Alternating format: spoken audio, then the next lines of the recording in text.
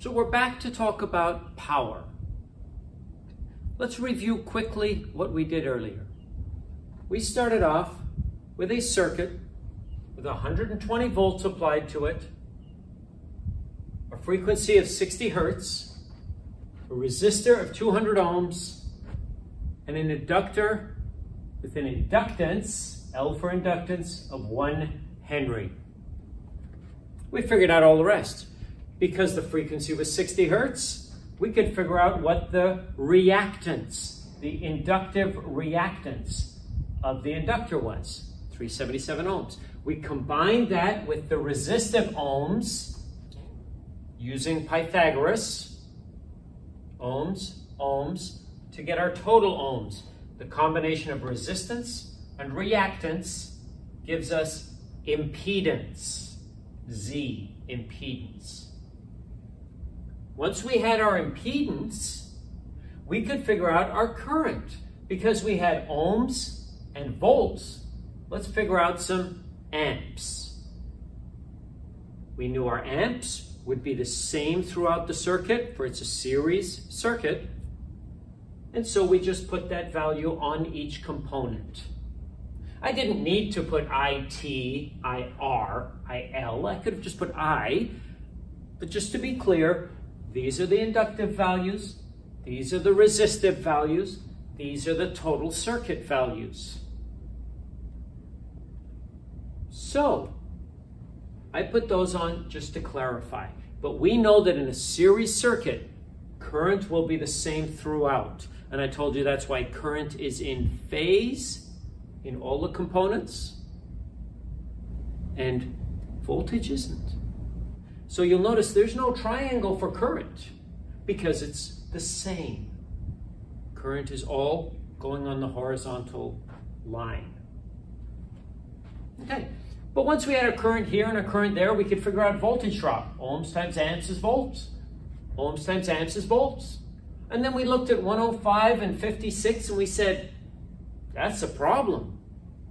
That's way more than 120. But then the light bulb went off and we said, try the triangle, bus. And we did. We put 56 here, all the resistive values on the horizontal, the reactive components on the vertical, 56, 105.6. Did our little Pythagoras, and it come to 120. Beautiful. Now we're dealing with power. Okay. Again, it's Ohm's law. And so far, you've worked with resistors. So you know power as watts. And what we're going to call that now is true power. True power. That's the working power, the active power, the true power. It's doing the real work, the heating, the lighting, the motion. The reactive takes power, throws it back, takes power, throws it back. Kind of all at the wrong time. It's like digging a hole just to fill it up again and dig another one here and, and, and, and keep doing that process back and forward. Taking power, throwing it out, taking, throwing it out. Okay. So it's reactive power. It's not doing any real work. This is the true power. True power, reactive power, makes sense, reactive, because it's in a reactive component. True power here, and the combination of those two, hint, hint, wink, wink, got the triangle. The combination of those two powers, Pythagorasly, is going to yield apparent power. Because at the circuit source, I see this many volts and this many amps. It appears that's what the circuit's using. The technical terms is that this is consumed power, right? This is kind of wasted power. So chuck it in, chuck it out. But we have to provide at the source enough power for the real work that's getting done, the resistive part of the load, plus for the stuff that's chucking around the place. We've got to provide all that. Okay, we'll get into this guy in a little bit. So let's calculate those out. Using Ohm's law, I could use any two of these to get power, couldn't I? Volts times amps is probably the most common. I squared R would also do it. Or E squared over R, right? I can use any of those combinations there, here, or here. So let's do it up here and then confirm and see if those values add up with the triangle as well. And let's see if they are proportional as well. Let's calculate them out. Start with the reactive. Why not? Right to left. Isn't that how we do it? So, volts times amps. Think about that for a second. How about 29.57? We'll go with that. And this becomes a question, what are we going to call these? We'll get to that in a moment. Let's calculate these guys. 56 times 0.28. 15.68. And over here, my power, volts times amps, about 33.6. You know, I gotta write that just a little smaller. So what are we gonna call these? True power, you guys called power watts before. So let's call that watts, because that's the type of power you're dealing with over a resistor. And that's what it is. True power is measured in watts. And then it'll make more sense if I go back here and, and I go, well, apparent power, it's basically how many volts and how many amps am I putting into the circuit. So can I just call them volt amps? That's what I multiply is volts times amps. Let's just call them volt amps. They get the fancy name, watts. But over here, again, I multiplied volts times amps. But I can't just call them volt amps because there's, I don't want to get them confused with over here. So I'm going to call them volt amps reactive, VARs, little s for plural, VARs. And then sometimes we put a little L. This will come into play when you get further into AC. We'll deal with some other components and capacitors. But these are my VARs inductive. 29.57 VARs inductive or inductive VARs, volt amps reactive. So again, those are important terminology issues. Let's write them up here. The resistive portion, the true power, 15.68 watts. That's the resistive portion, the true power, watts. On the inductor, we've got our VARs, 29.57 and I'll just put a sub L. So we know they're inductive. Again, here, that's the only reactive component we have, but later on we'll be combining other ones. And we think that's 33.6.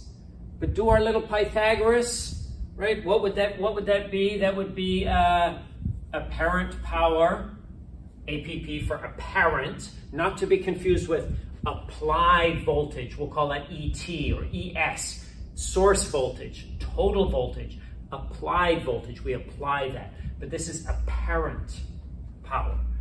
It might equal, we could just do volts times amps, that's what we did here, but we could also take our watts, square them plus our VARs, and square them, right? This side of the triangle plus that side of the triangle, square those two values, take the square root of, and boom, Confirm me? I think we're right. And unfortunately, I didn't leave enough room, so we'll call them VA, volt amps. So there's our power. 33.6 volt amps, 15.68 watts, 29.57 VARs, volt amps reactive of the inductive variety. So what's this other thing I've got here? It's my power factor, which is really a form of efficiency for a circuit. How efficient is the circuit? Let's say that. Remember, this stuff does the real work. This stuff just kind of chucks it around the place. So we still, I mean, we use the magnetic fields, don't get me wrong, we use that stuff in there, but we got to provide that power. So but if that's the real work that's getting done is 15.68 watts worth of real work, but I've got to put in this much to get that done, That's not very efficient. Power factor is equal to my watts over my VA. Watts divided by VA. It's efficient. How much real work am I getting done for what I have to put into the circuit? And right here, that's a little less than half. If I take watts over VA, that's 15.68 over 33.6. That's less than half. I think comes out to about 46.7%. You're going to get it in a decimal format, but we tend to put it in percent. Power factor. True power over apparent power yields power factor. That's my percent efficiency. For all the energy I'm putting into this thing, all the power, let's call it, all the power I'm putting into this thing, 46% of it is doing the real work. Down the line, third year, we're going to figure out how to compensate for these things because that's kind of a lot of wasted energy. If more than half the energy you got out there is wasted, that's more than half. We got to compensate for that. Let's look at one more thing. We basically used this side of the triangle over this side. You see that? 15.68 watts over 33.6 volt amps. I used this side over this side. So the efficiency, the percentage power factor is a relationship of this side to this side. I told you all these numbers were proportional. The blue ones are proportional to the red or proportional to the purple. So if I can take this number over this number and get 46.7, how about if I took this voltage, the resistive voltage drop, over the total voltage? Still this side of the triangle over this side, 56 over 120. You're going to get the same thing. Or from the very beginning, when I knew 200 ohms and all I figured out was 377 ohms, put those two together Pythagorasly, got 426. I could have gone 200 over 426. R over Z. Power factor is this side over this side. And as you notice, the steeper your angle gets, the closer you get to 90 degrees out of phase, the less efficient. The lower it gets, the closer the watts and the VA are, and the more efficient you get. That's getting more in phase. This is getting more out of phase. The more resistive, the more in phase I have, the higher my power factor. We'll discuss that more when we come into class. But for now, this is the concept that we get these. Current is the same throughout. In a series circuit, the other three values, ohms, volts, and power, add Pythagorasly. Use your Pythagorean theorem to solve those. A squared plus B squared equals C squared. And use Ohm's law within any component. I'm not going to use Ohm's law from here to here, but within any component, use Ohm's law to confirm your answers. You could confirm any of these. Volts and amps to get power. Ohms and amps to get power. Whatever you want to confirm, you can use that as a double check that your numbers are accurate.